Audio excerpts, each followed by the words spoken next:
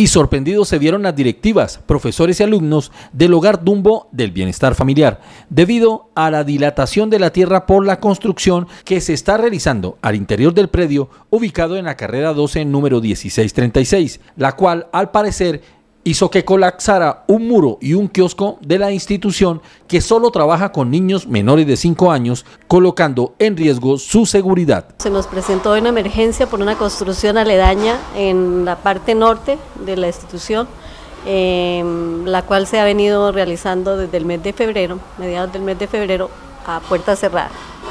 O sea, quiere decir que no tenía la autorización de planeación municipal para realizar esta obra. Las directivas de esta institución manifiestan que ya habían presentado la queja ante la Oficina de Planeación Municipal sobre este caso, pero hasta ahora que sucedió la caída de los muros, se espera alguna acción que regule los trabajos en este predio, donde además están utilizando maquinaria pesada. Empezó a tener afectaciones eh, por medio de una fisura en el, en el muro el cual pues todos los días uno miraba y pues de una vez se reportó el caso a bienestar familiar, se está viendo afectado el muro, eh, un padre de familia especializado, o sea, bajó a mirar en, una, en primera instancia y pues vio que todavía no, no estaba comprometido, que no, que esa fisura pues podía ser porque ellos empezaron a tumbar, eh, a explotar mm, como rocas con, con dinamita puede ser,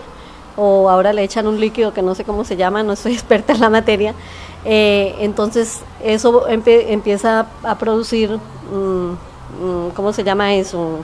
Eh, dilataciones en los, con los vecinos. Eh, ocurrió, yo creo que ustedes están enterados con los Monroy, que son vecinos ahí, y ellos fueron los primeros afectados su muro contiguo.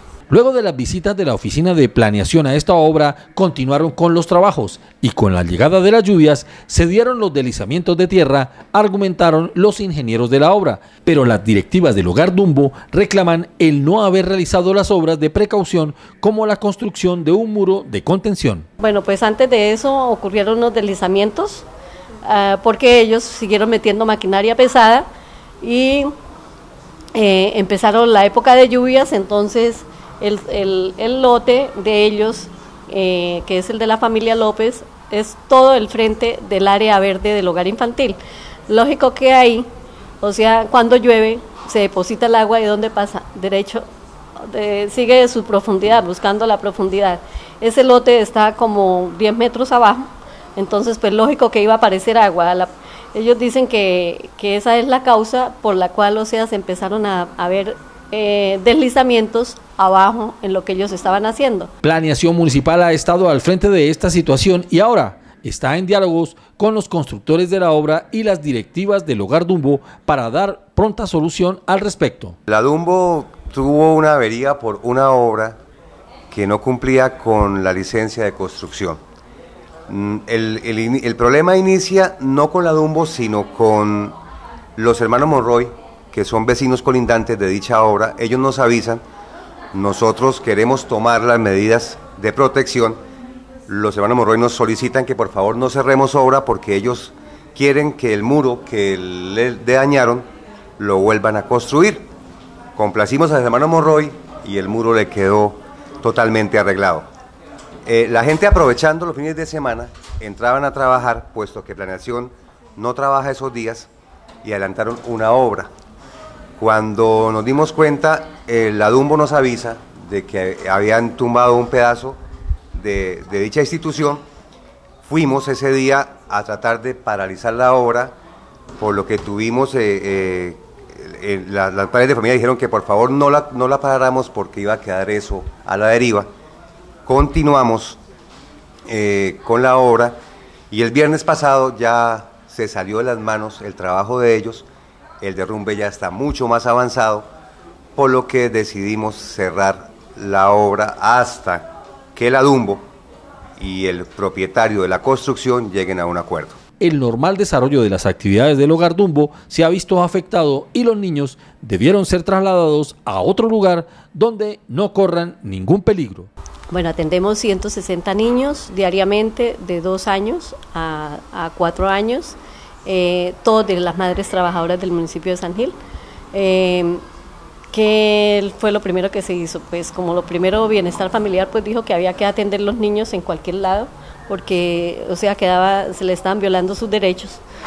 Eh, eh, entonces había que buscar un lugar donde trasladar los niños, mientras eh, se reunía el comité de emergencia, se valoraba la, la, la situación, ¿sí? los peligros que traía esto para los niños y podía venir una comisión de nivel nacional, que es donde están los expertos, los ingenieros expertos, a valorar la, la, gravedad de, de, la, de, la, de la emergencia. La Oficina de Planeación Municipal ya inició una acción sancionatoria contra los constructores de esta obra. Además, estará pendiente de cómo se desarrollen los arreglos en esta situación. Nosotros ya iniciamos un proceso sancionatorio como tal, que es lo que nos obliga a la norma, hay que cumplir con los términos legales, ya está el procedimiento, esperar para poder sancionar al señor y nosotros no podemos, y que quede muy claro, intervenir en la relación entre particulares.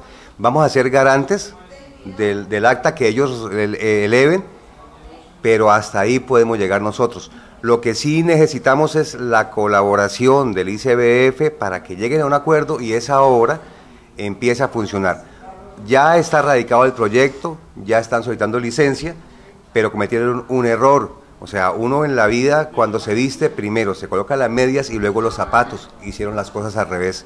Primero los zapatos y luego las medias.